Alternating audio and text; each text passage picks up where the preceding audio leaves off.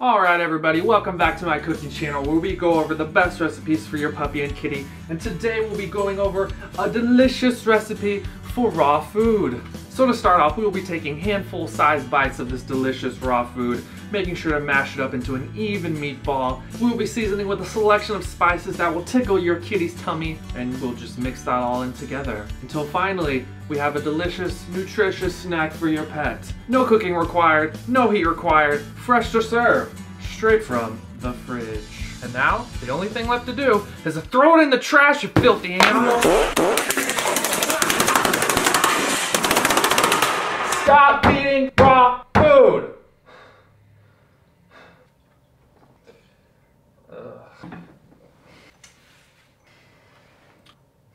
You'll have to excuse me for a moment. So I've noticed that there's been an increasing trend in the amount of raw food that is being fed to pets. It's become quite popular amongst uh, many people.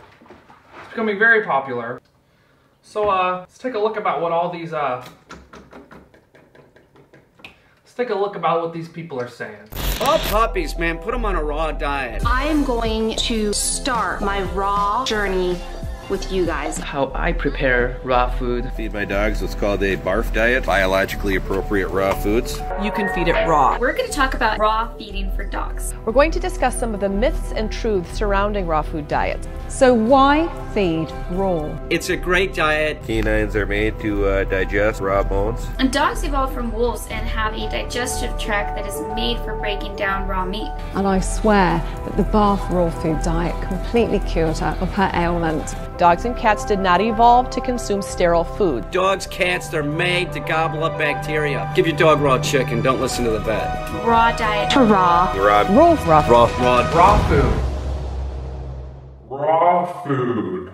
Lots of people are feeding it, lots of people are advocating for it. So why should you guys listen to me, a vet student who doesn't even have years and years and years of pet nutrition experience? Well, contrary to what you might believe, most veterinarians, most vet students actually do get proper training on pet nutrition from a board certified nutritionalist. Personally, me coming from the University of Georgia, we are trained by a board certified veterinary nutritionist and have many classes about pet nutrition. So I actually do have a good bit of experience. So I think when it comes to advice on pet nutrition, the best source is from your veterinarian, from someone who has taken courses in veterinary nutritional training. So that said, I'd like to show you what a vet student millennial like me is good at. Google Search Scholar. If we do a little search here on raw food diet, so we'll do a little search on raw food, and I'd like to direct you to an article titled Current Knowledge About Risks and Benefits of Raw Meat-Based Diets for Dogs and Cats. Now this was published in JAVMA, aka the Journal of American Veterinary Medical Association, so it's pretty much the most legit journal of veterinary medicine that there is. And uh, it's written by four board-certified veterinary nutritionalists, so these are people that have spent years and years researching pet nutrition and learning about pet nutrition and what's best to feed your pets. So I think they have a little bit of credibility. Now, if that doesn't scream quality science to you guys, it's also peer reviewed, which means multiple people have viewed it and corroborated it to make sure that all the facts and figures are legit. So I've come up with a little PowerPoint going over the, the, the key events in the article, the main points per se. And uh, today we'll be taking a, a deep dive into, uh, into raw food. Is it good or is it bad? Let's find out. So, so one of the main points that I would like to talk about is a lot of people who feed raw diets think that their pet is like a wolf. They think that their dog is similar to a wolf and that, you know, wolves eat raw diets, so their pet should too to be the healthiest. And um, unfortunately, we, when we look behind the actual science of it, when we look at the genome of the wolf versus the dog, we can see that there are 30 key differences between the genome of a wolf and a dog. A DNA strand like me is a blueprint for building a living thing. 30, and 10 of those genes are actually involved in carbohydrate digestion and fat metabolism. So unfortunately, your uh, your Grandma Shih Tzu is just uh, not not not making the cut there. And uh, as you can see, dogs and wolves require different things nutritionally. They require different nutrients, if you will. Now, a lot of anecdotal claims that people are making is that raw food will give your dog better breath will make their little poopies smell a little better, and overall will make their dog healthier. Now, the key thing to point out is that these are just anecdotal reports. So, when looking at it, is there any evidence anything, any proof that this is true, any sort of scientific studies that have been conducted?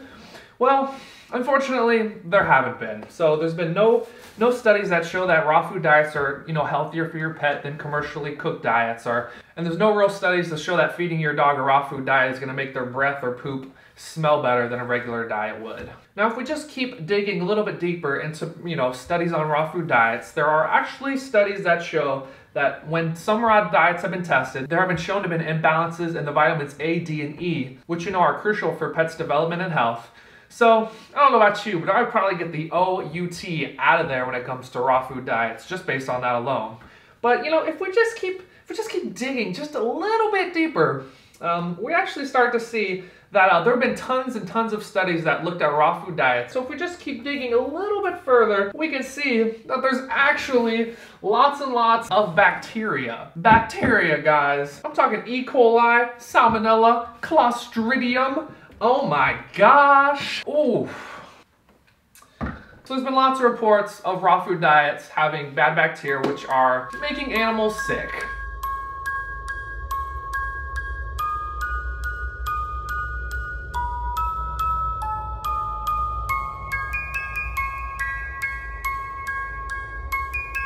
Now, uh, I know what some of you might be thinking. Um, earlier last year, the FDA put out a claim that uh, they sort of enforced a new rule where all commercially shipped raw food diets had to be free of any pathogens, so no contamination from salmonella or anything. But, you know, while a great rule that this was to, you know, try to prevent infection in pets from these diseases and bacteria, um, if we just if we just keep digging just a little bit deeper, you know, just really get our shovel and get in there, um, we actually start to see, if we look at the FDA recall list, we can see lots and lots of recalls from these raw food diets.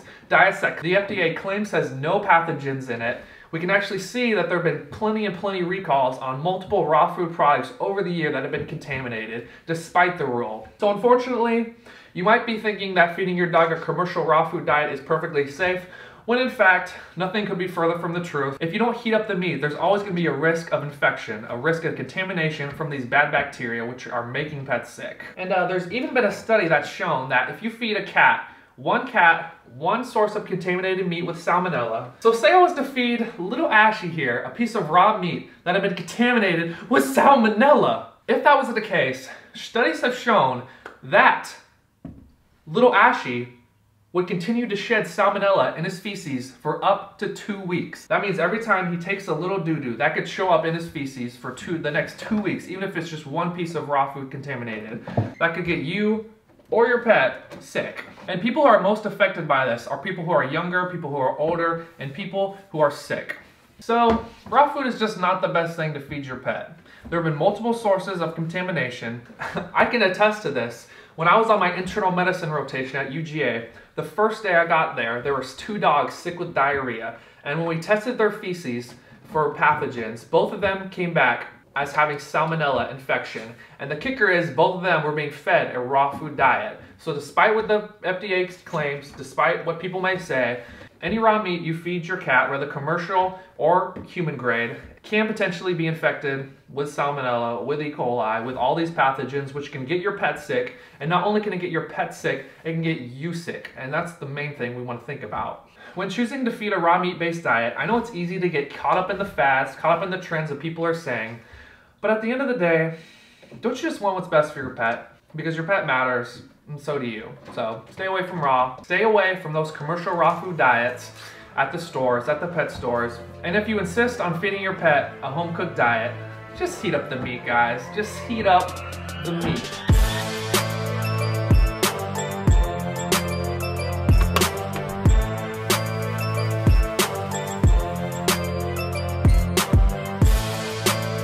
Cook your meat! Cook, cook, cook, cook your meat!